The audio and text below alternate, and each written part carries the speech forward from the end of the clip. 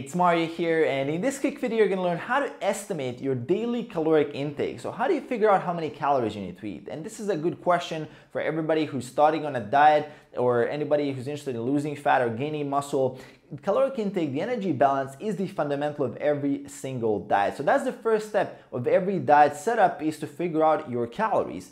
And the first step to figure out your calories is knowing your daily caloric intake when it comes to maintaining your weight. So then you can manipulate that in a way that you want to lose weight or gain weight. So how do you do this? Well, there's many different ways online. There's a bunch of calculators. There's a bunch of different calculations as well. I'm going to give you two basic ways here. One is going to be the fast uh, inaccurate way of doing things, kind of the dirty way of calculating your calories. And the second one is gonna be the uh, very, very accurate way based on real life data. So let's go into the first way. Well, it's quite simple. Basically, you take your weight in pounds, you multiply that by 11, and that gets you the resting metabolic rate approximately. And then you multiply that by the amount of activity you have plus how many exercise days you have per week.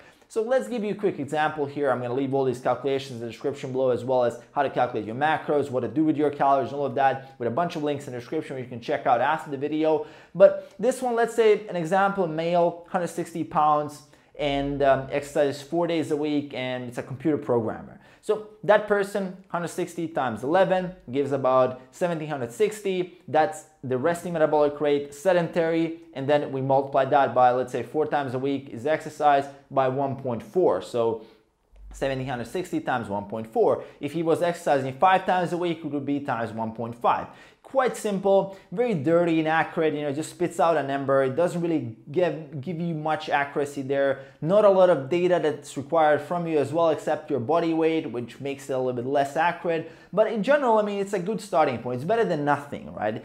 Aside from that, I mean, if the person was likely active or more active or super, super active, then you would start those multipliers either from 1.5, 1.9, 1, or uh, 1.7. If someone's like a construction worker, physical job, exercising three times a week, I mean, that would be 1.9, not 1.3 with the multiplier with resting metabolic rate. So I'm gonna leave, as I said, all these calculations in the description below for you guys if you're interested in spitting out a number for yourself. This uh, method is as accurate as any calculator online. So any calculator online will give you uh, the same kind of number. You know, it's going to ask you for a lot of different data points like your body fat level estimate, your age, your height, your weight, like all these things, and spits out the number. So this number is not going to be accurate. I mean, if you look at all the calculators out there, I was uh, pretty much using all of them and they were all about three to about 600 calories off for me once I actually started getting into this and getting deeper and deeper into calculating my own caloric intake. So the second method is the one I would recommend. Basically, the second method starts off the same way as the first method. You Just get a number. You can get the number from a calculator online or you can just use the formula that I just gave you. I'm gonna leave one online calculator that I think is really, really good in the description below for you guys to check out. So that's the step one of the method two. Uh, once you get that number, now it's time for you to validate that number on uh, measuring your data. So measuring your number one food intake and number two, what you're gonna be measuring is your body weight. So you're gonna need two tools for this. For the food intake, you're gonna be needing a tool like MyFitnessPal that allows you to log your food.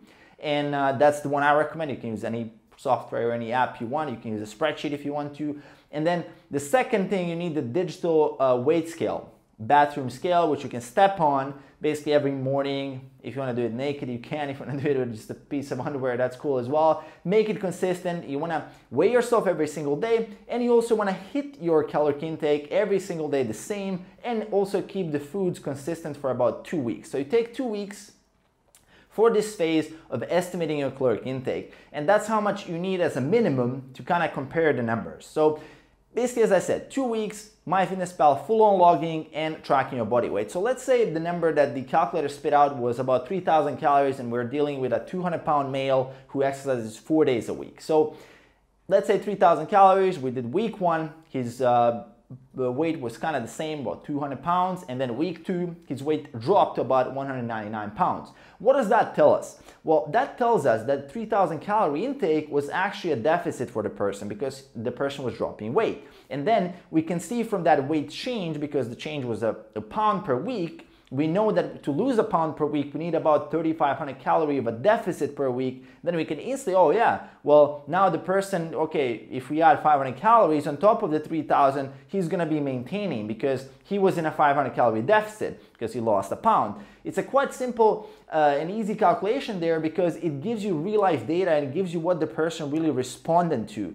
And um, then we have the 3500 mark and if same as the person was gaining a pound at 3000 calories i mean we could have easily just said oh shit we, we overestimated the amount of calories by 500 per day and then you can easily tone it down back to 2500 and say well 2500 now is the maintenance and then you figured out the maintenance and from there it's super super easy to do this because once you have the maintenance you simply have to manipulate the maintenance in a way whether you want to lose fat or you want to gain muscle. So whatever the goal is, you're going to stay the same and do a body recomp, like a kind of a slower losing fat or gaining uh, size phase where you're just staying the same caloric intake, giving your body enough food, and really focused on your athletic goals and getting stronger and stronger in the gym. So that would be the best way I would say to estimate your caloric intake. I mean, obviously now with that caloric intake, you want to go into splitting that into macros, which I, am going to leave a, a video a link in the description below for you guys to check out. And aside from that, I mean, as I said, estimate your maintenance, put it into macros, divide it into different meals around the day, use some kind of meal structure. You can use intermittent fasting, you can use any other meal structure, it doesn't really matter.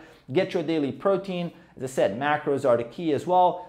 Continue tracking if you want with MyFitnessPal. I mean, if you, I mean, that's my recommendation. If you don't want to, that's also cool. But the key is really to know that figure at the beginning of the diet and then maybe do a recalculation after a while, let's say eight weeks in or 12 weeks in to figure out, okay, what is my new maintenance because the maintenance will be changing. It's a kind of a moving target depending how your body weight is changing and also the different factors. If you've been dieting for a while, like your diet history and like all these other factors. So it's really critical to estimate this accurately in the beginning so you can get on the right starting point for the diet. So hope you guys enjoyed. Uh, let me know in the comments below if you ever used a calculator before and how accurate was that online calculator for you in terms of estimating your caloric maintenance. Aside from that, make sure to hit that subscribe button right in the face to support the channel and I'll see you guys in the next one. Peace.